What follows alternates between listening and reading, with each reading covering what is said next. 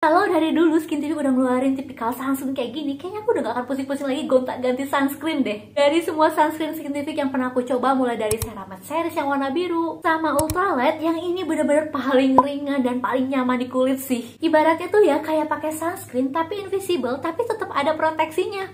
Kebayang gak tuh sensasinya kayak gimana?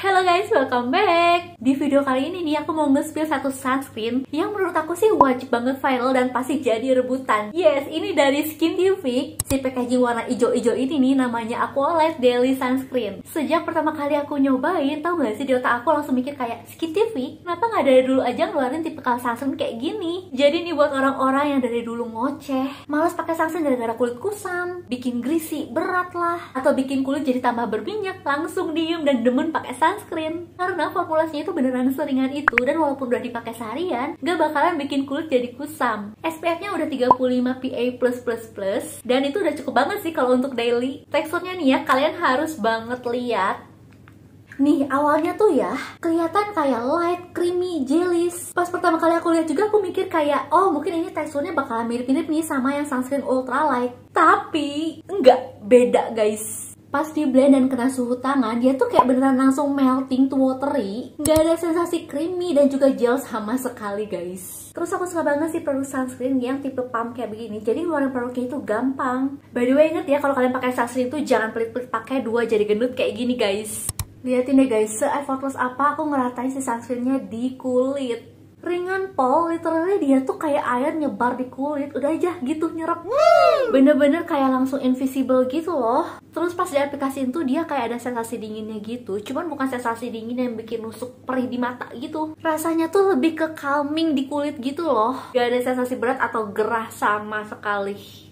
Nyerapnya pun beneran secepat ini. Tuh liatin deh.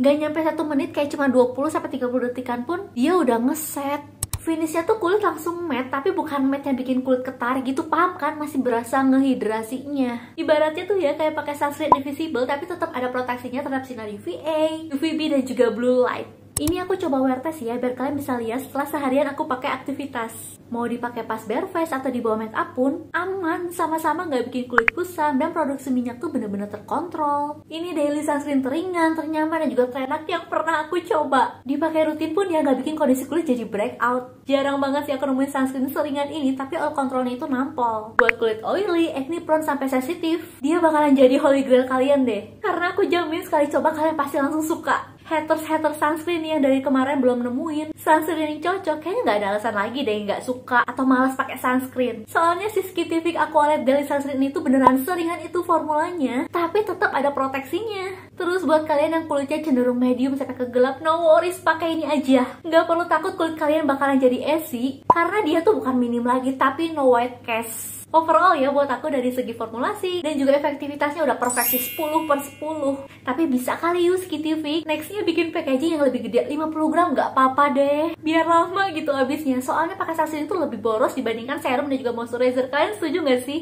so ya yeah, itu harapan aku sih ada packaging yang lebih gede gitu kan. Oke deh guys mungkin segitu aja video aku kali ini and bye bye